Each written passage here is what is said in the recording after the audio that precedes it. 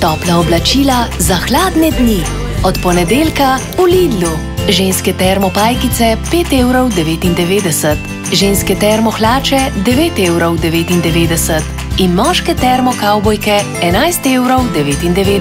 Lidl, preprosto več za vas.